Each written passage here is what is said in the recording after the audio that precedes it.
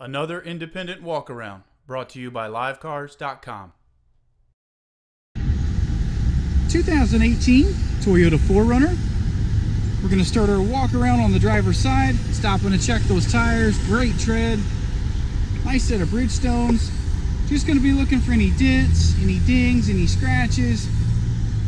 They have added a nice set of step assist there, making it easier to get in and out of this vehicle. Driver side's in great shape.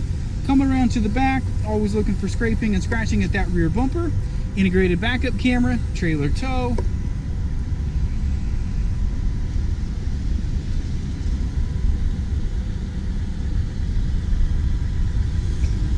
Just a little wax residue left over there.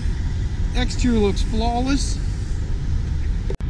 Inside the 4Runner, you've got full power windows and locks, full power driver seat. It's a two-tone leather seating.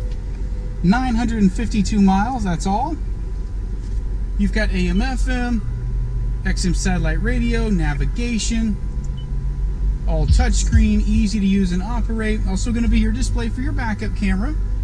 All your climate control just below it there. Multiple power and USB ports, heated front seats.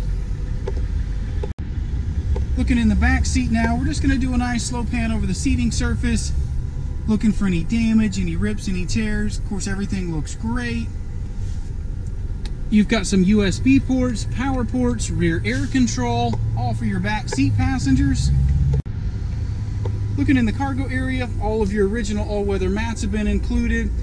You can lay each of those three back seats down individually. You've got an additional power port, additional power outlet back here.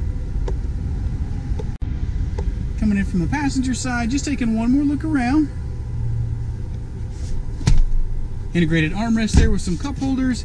Now these rear seats do, the bottom flips up, then the back seat will lay down flat, but you at least get that full use of that cargo area. We're gonna wrap up in the front passenger seat. Passenger gets full power as well as the driver. Great for those road trips. One more look over the seating surface. One more spin around the back.